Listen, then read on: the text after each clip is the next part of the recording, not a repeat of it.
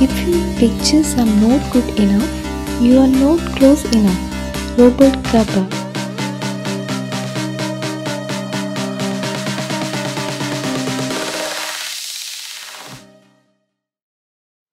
Creative Hut Institute of Photography